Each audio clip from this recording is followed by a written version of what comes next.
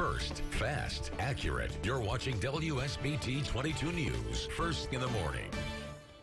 Welcome back. It's hugely popular. The Notre Dame Film Festival is going is coming up in in a few days, and it's always packed house. Absolutely, Uh. I am with Lesley Stevenson, one of the directors of a film. Tell me a little bit about the film that you directed and created. Absolutely. So my partner and I, Brian Lack, worked on a film called Cold Open. It's about seven minutes long, and we produced it together in our intermediate filmmaking class at Notre Dame.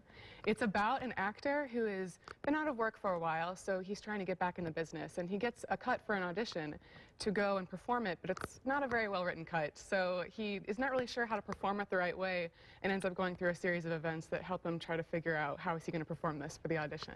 And you said it's about 12 minutes long. Mine's about seven, No, but they range seven. from seven to 15 in the festival. Oh, so what you created this film that's seven minutes long. Mm-hmm. How do you think that compares to you know some of the stuff we see in the theater or at other film festivals? Sure. Well, definitely working on a film, even just a short one, has given me a huge appreciation for what people go through to make a full-length feature film.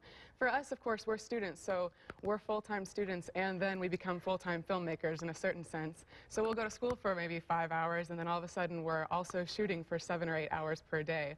It's very difficult to do, but a lot of fun. And it, it appears that what we're looking at here is Yes. is, is the film that you guys created. Absolutely. That's my best friend, Jacob Shrimp. He is a film, television, theater major as well at Notre Dame, also a junior. Uh, and then Emmy Shanebauer is a freshman at Notre Dame. We hope that she's a film major, but we'll see if that plays out the way we want it to. Uh, we shot this in downtown South Bend on one of the coldest nights of in uh, November. Uh, so you can see that there's a lot of snow, and uh, it was a little bit difficult for them to pull off this running sequence, but we had a lot of fun shooting it.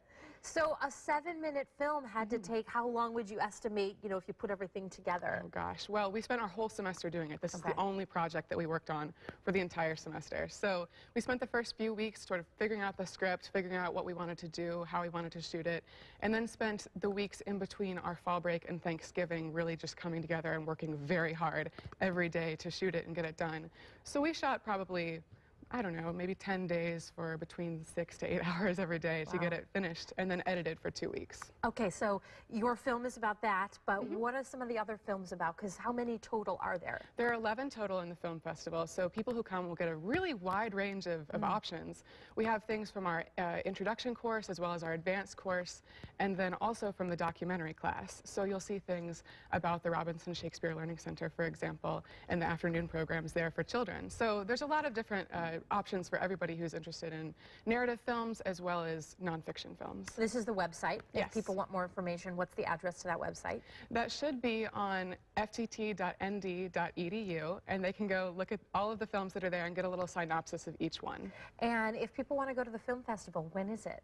It is this week, so I'm really excited about this. It's coming up Thursday, Friday, and Saturday. The Thursday showing is at 7 p.m., and then Friday, Saturday, we've got 6.30 and 9.30. People can get tickets online, or uh, they can come to the door and get tickets as well. Does it sell out? Frequently it does. Yeah. So going online is not a bad idea. You can go to performingarts.nd.edu to get to the DeBartolo Performing Arts Center uh, and get tickets there. If they can't make it and they want to see some of these films, can you get them online? Definitely. Well, we hope that everybody comes to the actual showing because they'll be able to vote on our Audience Choice Award winner. Uh, you definitely can check them out on YouTube as well, and that would be on ftt.nd.edu. Awesome. Thank you so much, Thank Lesley. you. It was wonderful to talk to you. Good luck to you. Thank you very Hopefully much. a career in film and We'll see. in the future. I hope so. I hope so. This is a great starting point for me. I'm very excited about it and honored to be a part of it. Good luck. We're rooting for you. Thank you so much.